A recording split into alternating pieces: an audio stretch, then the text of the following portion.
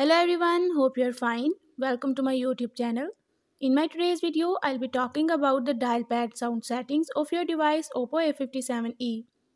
So if you want to enable dial pad sound of your device, you can do it by following a few steps which I'll be sharing with you in my today's video. But before that, hit the red subscribe button and the bell icon to stay updated.